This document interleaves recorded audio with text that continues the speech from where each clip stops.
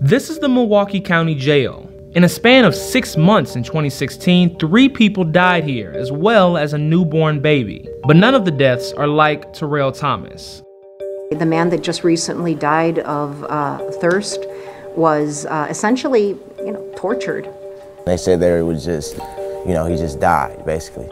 Seven days he didn't drink any water. He refused to turn on, turn on his water. Terrill Thomas went seven days without water, held up in solitary confinement. He lost 30 pounds before he died of profound dehydration. The routineness of it was the most shocking. Pete Koneazny from Milwaukee's Legal Aid Society has worked with the American Civil Liberties Union to monitor conditions at the jail since 2001. Officers at the jail intentionally turned Thomas's water off to discipline him. Turn off his toilet water because we don't want him to flood.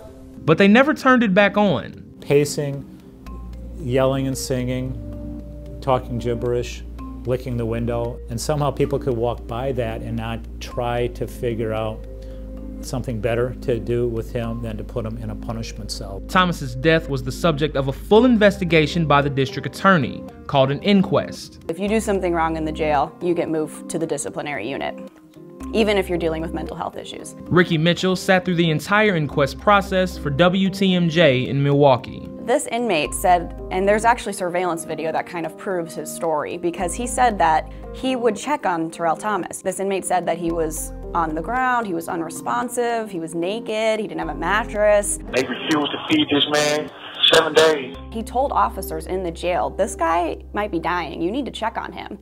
And they didn't. The dumb thing of it was that you, you were punishing or teaching a lesson to somebody who, who, for whom it made no sense. After hearing all the evidence during the inquest, the grand jury recommended charges for seven officers at Milwaukee County Jail. Everyone thinks that this is the, the end all be all, but I think it's really important to note that no one could face charges. This is all up to the district attorney at this point. This could end up where no one faces charges. This could end up where more people face charges. The person in charge of these inmates' safety and security Blue Lives Matter in America is the always outspoken Sheriff David Clarke.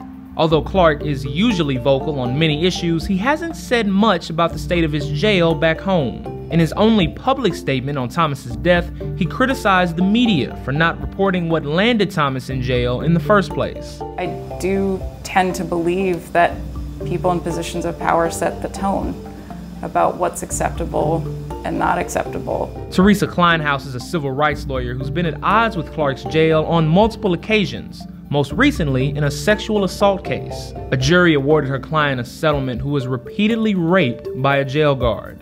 And the feeling she described about that was just the shock of how many more times is this going to happen and what do I have to do to make it stop? A former Milwaukee County jail officer assaulted Kleinhaus's client five times in custody. Three of those assaults were while the woman was pregnant. In a case like this, where someone is raped in a jail, it's hard to understand how it occurs. It's a secure facility. You can't walk into it, I can't walk into it. For it to happen five times without detection, I think makes everyone wonder what's going on with the security and supervision at that facility. A Milwaukee jury sided with Kleinhaus's client to the tune of $6.7 million. But it seems the Milwaukee County Jail will have more cases on its plate.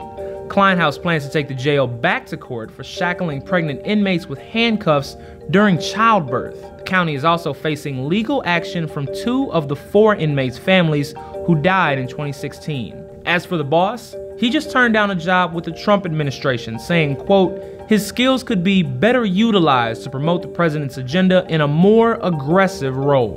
What's more important, a political moment or, uh, you know, protecting the rights of the citizens of Milwaukee County, whether they're incarcerated or not?